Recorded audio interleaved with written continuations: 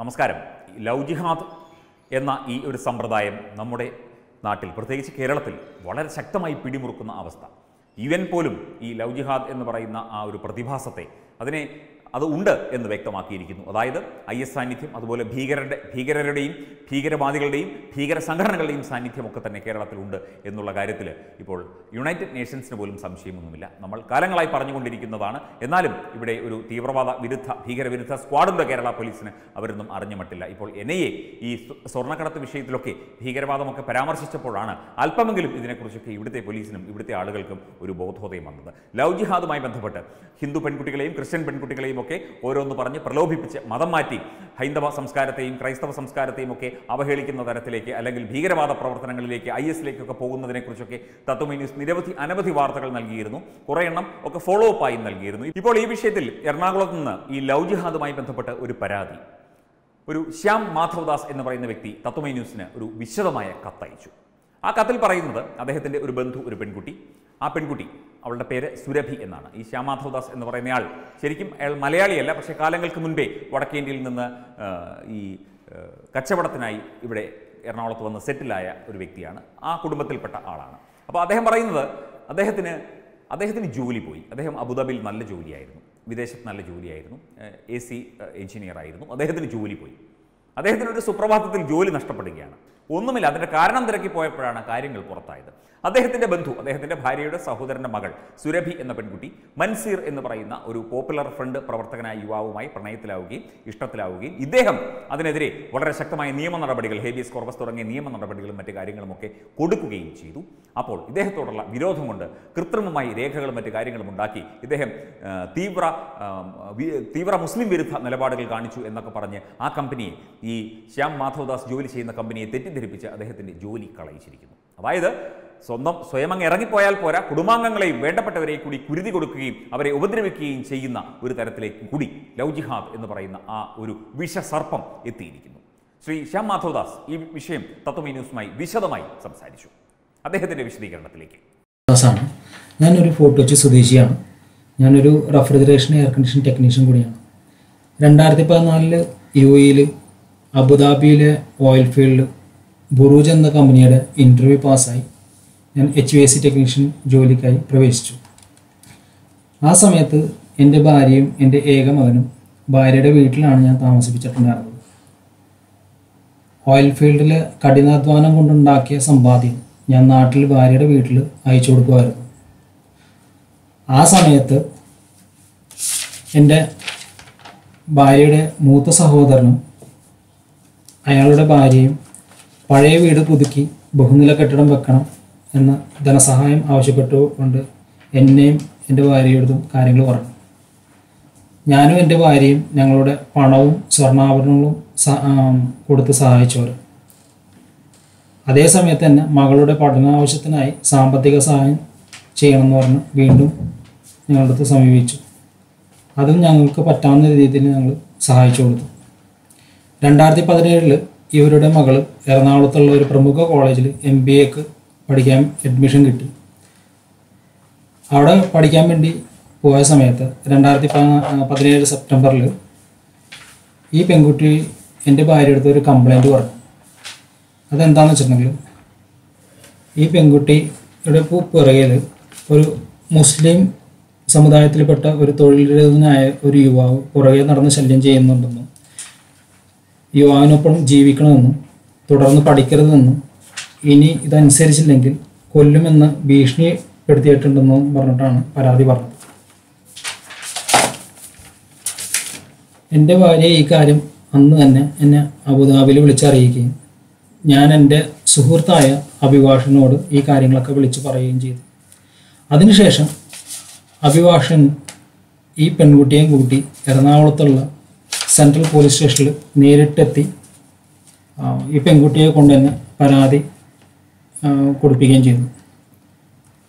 അവിടെ ഇരു കൂട്ടരെയും വിളിപ്പിച്ച് വരുത്തുകയും മുസ്ലിം വിഭാഗത്തിൽപ്പെട്ട ഈ യുവാവിനോട് ഒരിക്കലും പുറകെ നടന്ന് ശല്യം ചെയ്യില്ല എന്നുള്ളത് എഴുതി മേടിക്കുകയും ചെയ്തു.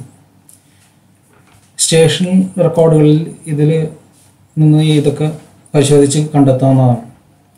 അതിനുശേഷം രണ്ടായിരത്തി പതിനെട്ട് ജാനുവരി മാസത്തിൽ ഞാൻ ഒരു മാസത്തെ വെക്കേഷനിൽ നാട്ടിൽ വന്നിരുന്നു. ആ സമയത്ത് ഫെബ്രുവരി മൂന്നാം തീയതി രണ്ടായിരത്തി പതിനെട്ടിൽ ശനിയാഴ്ച ഈ പെൺകുട്ടി കോളേജിലേക്ക് പരീക്ഷ ഉണ്ടെന്ന് പറഞ്ഞ് പോയതാണ്. പിന്നെ അറിഞ്ഞത് അതേ മുസ്ലിം വിവാഹത്തിൽപ്പെട്ട യുവാവിന്റെ ഒപ്പം ഒളിച്ചോടി പോയെന്നാണ് അതിനെക്കുറിച്ച് സംബന്ധിച്ച്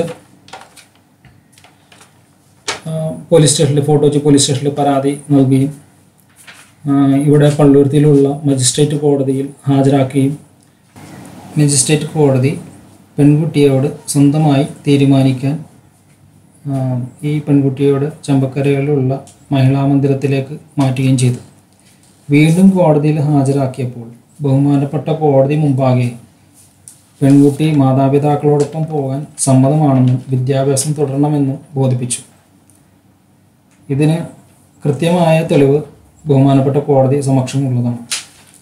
രണ്ടായിരത്തി പതിനെട്ട് ഫെബ്രുവരി പതിനാറാം തീയതി ഞാൻ വെക്കേഷൻ കഴിഞ്ഞ് തിരി തിരിച്ച് ഞാൻ യു എയിലേക്ക് പോയി.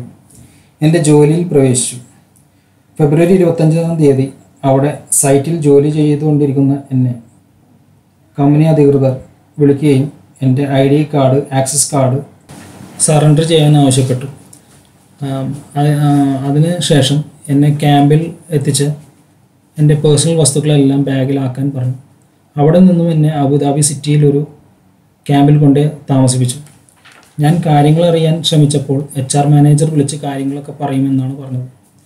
ഇരുപത്താ ഇരുപത്തിയാറാം തീയതി തിങ്കളാഴ്ച മാനേജർ എന്നോട് പറഞ്ഞു കുറച്ച് പേപ്പേഴ്സ് കൊടുത്തു വിട്ടിട്ടുണ്ട്. അത് എത്രയും പെട്ടെന്ന് സൈൻ ചെയ്ത് തിരികെ നൽകണമെന്ന് പറഞ്ഞു. ഞാൻ കാര്യങ്ങൾ ചോദിച്ചു എന്താണ് പേപ്പേഴ്സിലെന്നുള്ളത് അപ്പോഴാണ് എച്ച് ആർ മാനേജർ പറഞ്ഞത് അത് നീ സ്വയം റെസിഗ്നേറ്റ് ചെയ്ത് പോണതായിട്ടുള്ള പേപ്പേഴ്സാണ് അത് ചെയ്ത് തന്നേ പറ്റുള്ളൂ എന്ന് പറഞ്ഞു. അപ്പോൾ ഞാൻ ചോദിച്ചു ഞാൻ എന്തിനാ അത് ചെയ്യണേന്ന് ചോദിച്ചു. നീ എന്തെങ്കിലും മുസ്ലിം വിരുദ്ധ പ്രവർത്തനം നാട്ടിൽ ചെയ്തായിരുന്നാന്ന് ചോദിച്ചു. ഞാൻ പറഞ്ഞു ഞാനൊന്നും ചെയ്തിട്ടില്ല എന്ന് പറഞ്ഞു. എന്നാൽ ചെയ്തതായിട്ടുണ്ടെങ്കിൽ തക്കതായിട്ടുള്ള തെളിവ് അവരുടെ അടുത്തുണ്ടെന്നാണ് അവർ പറയുന്നത് അപ്പോഴാണ് എനിക്ക് കാര്യം മനസ്സിലായത് ഈ ഒരു വിഷയമായിരിക്കാൻ ചാൻസ് ഉണ്ടെന്ന്. ഞാൻ പറഞ്ഞു അത് എന്റെ ഫാമിലി മാറ്ററാണ് അതിവിടെ ഡ്രാഗ് ചെയ്ത് കൊണ്ടുവരേണ്ട കാര്യമില്ല എന്ന് പറഞ്ഞു. അപ്പോൾ അവർ പറഞ്ഞു അവർക്ക് രണ്ട് ഇമെയിൽ ലഭിച്ചിട്ടുണ്ട്. ആ ഇമെയിൽ പ്രകാരം ഞാനൊരു ഹിന്ദു തീവ്രവാദിയാണെന്നും എന്നെ ഓയിൽ ഫീൽഡ് ജോലിക്ക് തുടർന്നു കഴിഞ്ഞാൽ ഓയിൽ ഫീൽഡിൽ ഏത് നിമിഷം ബോംബ് സ്ഫോടനം ഉണ്ടാകും എക്സ്പ്ലോഷൻ ഉണ്ടാകും പിന്നെ രാജ്യസുരക്ഷാ കാര്യങ്ങളൊക്കെയാണ് അവർ പറയണത്.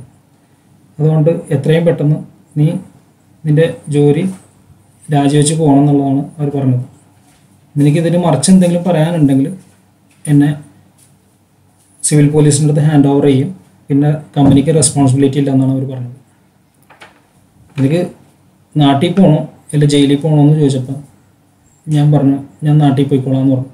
അങ്ങനെയാണ് എനിക്ക് നാട്ടിലോട്ട് പോകാനുള്ള നാട്ടിലോട്ട് പോകാനുള്ള എയർ ടിക്കറ്റ് റെഡിയാക്കിയിട്ട് എനിക്ക് ഇരുപത്തെട്ടാം തീയതി ഫെബ്രുവരി ഇരുപത്തെട്ടാം തീയതി തന്നെ എയർപോർട്ടിൽ ഡ്രോപ്പ് ചെയ്യുകയും ചെയ്തു. അങ്ങനെ ഞാൻ മാർച്ച് ഒന്നാം തീയതി തിരികെ നാട്ടിൽ എത്തുകയും ഞാനും എന്റെ ഭാര്യയും കൂടി ഞാൻ താമസിക്കുന്നിടത്ത് സംസാരിച്ചുകൊണ്ടിരിക്കുമ്പോഴും ഈ പെൺകുട്ടിയും എന്റെ അമ്മായിയമ്മയും കൂടി ആ സ്ഥലത്ത് അവർ കയറി വന്നു. ഞാൻ എന്താ വന്നതെന്നുള്ള തിരികെ വന്ന കാര്യങ്ങൾ ചോദിച്ചു. തിരികെ വന്ന കാര്യങ്ങൾ ചോദിച്ചപ്പോൾ പറഞ്ഞു ഞാൻ പ്രോജക്റ്റ് മാറിയിട്ട് വേറെ പ്രോജക്റ്റിൽ മാറി കയറാൻ വേണ്ടി വന്നിരുന്നു പെൺകുട്ടി പറഞ്ഞു ജോലി പോയല്ലേ? എന്ന് ചോദിച്ചു. അപ്പോൾ അപ്പോഴാണ് എനിക്ക് മനസ്സിലായ ഈ പെൺകുട്ടിക്ക് എന്തോ കൈയുണ്ട് ഈ കാര്യങ്ങളിൽ ഞാൻ എന്റെ ഭാര്യ അടുത്ത് പറഞ്ഞു ഈ പെൺകുട്ടിയുടെ അടുത്ത് കാര്യങ്ങൾ അന്വേഷിക്കാം.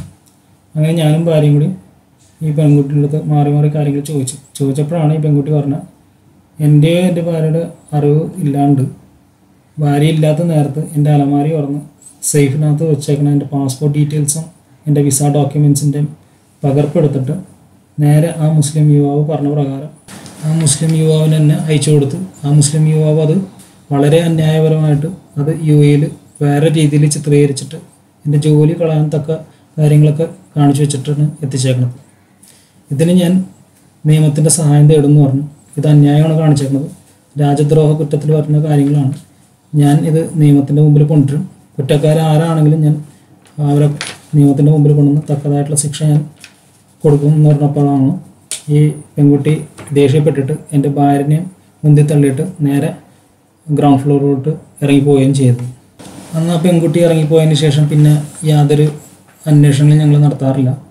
പിന്നെ ഞാൻ അറിഞ്ഞത് മാർച്ച് ഇരുപത്തെട്ടാം തീയതി വ്യാഴാഴ്ച ഈ പെൺകുട്ടി വീണ്ടും അതേ മുസ്ലിം യുവാവിന് ഒപ്പം ഒളിച്ചോടി പോയി എന്നാണ് ഇപ്പോൾ എന്റെ അവസ്ഥ എന്ന് പറഞ്ഞാൽ എന്റെ വിലയെടുപ്പുള്ള ഇത് വിദേശത്തെ ജോലിയും നഷ്ടപ്പെടുത്തി സമ്പാദ്യവും നഷ്ടപ്പെടുത്തി എന്നുള്ളതാണ്.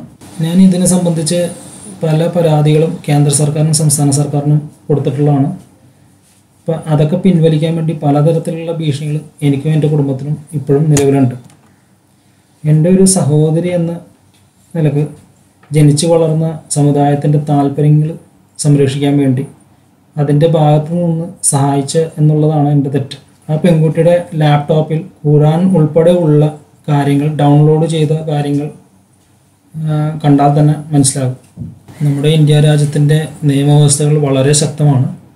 കുറ്റക്കാർ ആര് തന്നെ ആണെങ്കിൽ അവരെ നിയമത്തിന്റെ മുന്നിൽ കൊണ്ടുവന്ന് തക്കതായിട്ടുള്ള ശിക്ഷ കൊടുക്കണം തന്നെയാണ് എന്റെ ആവശ്യം. ഇതിന്റെ കാര്യങ്ങളിലായി ഞാൻ ദേശീയ മനുഷ്യാവകാശ കമ്മീഷൻ എഴുതിയ പരാതി അവർ സ്വീകരിക്കുകയും ഈ കേസ് ഇൻവെസ്റ്റിഗേറ്റ് ചെയ്യാൻ വേണ്ടി സംസ്ഥാന മനുഷ്യാവകാശ കമ്മീഷനെടുത്ത് ചുമതലപ്പെടുത്തുകയും ചെയ്തിട്ടുള്ളതാണ്. അതെ ഇത് ഇത് സത്യം പറഞ്ഞു കഴിഞ്ഞാൽ ലവ് ജിഹാദ് ഇവിടെ ഇല്ല എന്ന് കേരള പോലീസ് കേന്ദ്രത്തിന് റിപ്പോർട്ട് കൊടുത്തിരിക്കുന്നു. കാരണം ഇതൊന്നും ഒരു കേസായിട്ടോ ഒരു റിപ്പോർട്ടായിട്ടോ കേരള പോലീസോ ഇവിടുത്തെ അധികാരികളോ കണ്ടിട്ടില്ല എന്നുള്ളതാണ് വാസ്തവം. മാത്രമല്ല ഭീകര സംഘടനകൾ ഇതിനുവേണ്ടി തന്നെ തയ്യാറെടുക്കുകയാണ്. ഒരുപാട് ഭീകര സംഘടനകൾ ലവ് ജിഹാദ് എന്ന് പറയുന്ന പ്രക്രിയയിലൂടെ ഇവിടെ ഹിന്ദു യുവതികളെയും അതുപോലെ ക്രിസ്ത്യൻ യുവതികളെയും ഒക്കെ മനഃപൂർവം തേടിപ്പിടിച്ച് അവരുടെ ഒരു അജണ്ടയായിട്ട് തന്നെ ഇത് നടപ്പിലാക്കുകയാണ് ഈ വിഷയം നമ്മൾ പലപ്പോഴും പറഞ്ഞിട്ടുള്ളതാണ്.